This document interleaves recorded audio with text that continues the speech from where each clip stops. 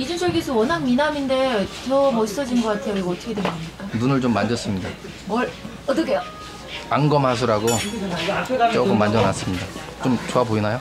어 완전 미남이었어요. 화려하게. 네, 감사합니다. 그래도 오피세븐하고 이백승을 해서 더 좋았겠어요. 그렇죠. 제가 너무 아끼는 말인데 번호가 외곽 번호라 조금 쉽지 않을 거라고 생각했어요.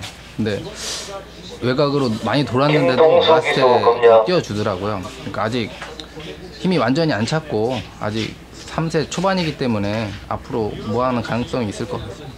제 자리에서 제가 타는 말만 거의 타기 때문에 어느 정도 말들 스타일도 많이 알고 최선을 다했지만 안 된 거를 뭐 어떻게 할 수가 없잖아요. 예, 그래도 200승을 한 거는 팬들이 응원도 많이 해주시더라고요. 너무 감사하고 이제 했으니까 더 조교사가 되기 전까지는 더 좋은 모습 보여드리도록 노력해야죠.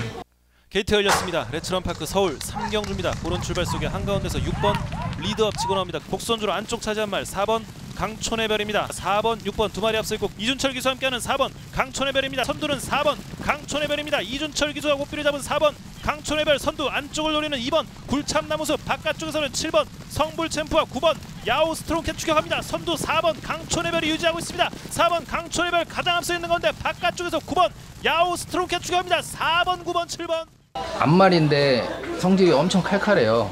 다루기도 좀 힘들고 겁도 엄청 많고 그러니까 서트- 스타트 능력이 이렇게 있는지는 망할 때 조금 느, 느낌은 있었지만 말이 쌓이면은 안 뛰려고 그러는 게 있어가지고 데뷔 전엔 끝번이라 이제 말이 없으니까 선행을 갔었고 이번에 중간에 쌓이면 어떻게 될까 하는 생각을 했었는데 원체 초반 능력이 좋다 보니까 1등을 하게 됐는데 이제 거리가 늘면은 좀 아직 지구력이 조금 딸리는 것 같아요. 그걸 좀 보완해야 되지 않을까 생각하고 있습니다.